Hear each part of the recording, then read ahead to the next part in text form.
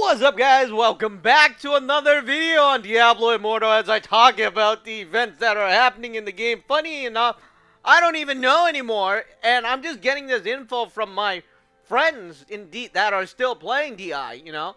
And I want to thank them for telling me that. So, one of the things that they're doing apparently now is called refer a friend. You know, you put friends in quotes, right? I mean, you know, obviously, if you're a friend, you wouldn't want to do that to your friend because you're not much of a friend if you do.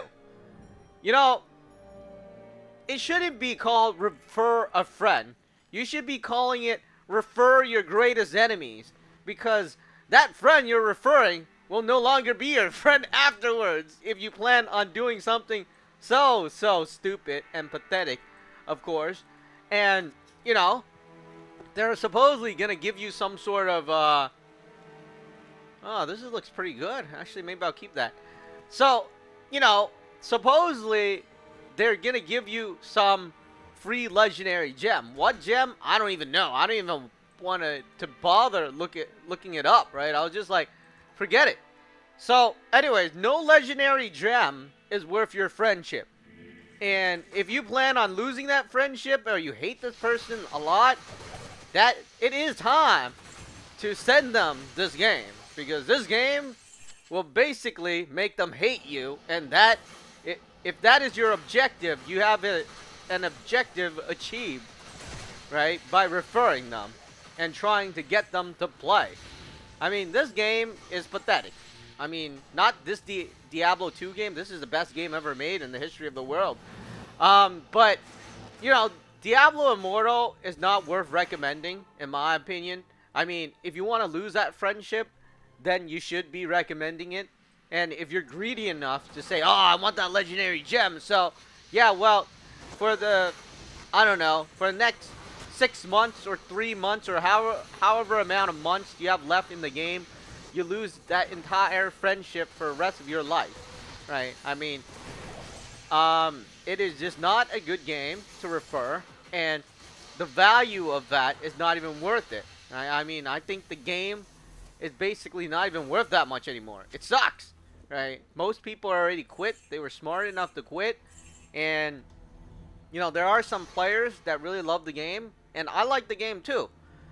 If they fix the botting, the cheating, and everything, because it's a competitive game. If it wasn't a competitive game, I wouldn't care if somebody was botting, right? I wouldn't care if somebody was cheating. But I do care when they're competing with me. So, anyways, the refer the friend thing is the biggest joke in the history of the world because it kind of verifies what I was saying.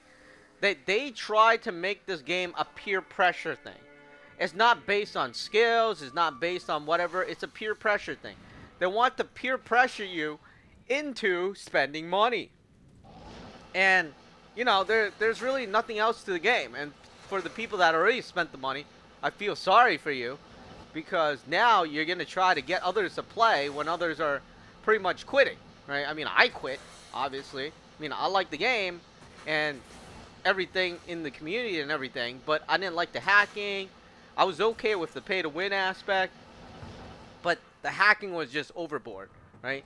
The, the bots and stuff like that, especially, like I was saying, in a competitive environment. If I was playing this Diablo 2 and people were botting, who the hell cares, right?